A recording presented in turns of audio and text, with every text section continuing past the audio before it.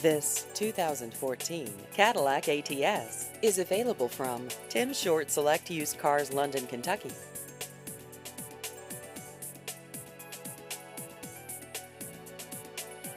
This vehicle has just over 33,000 miles.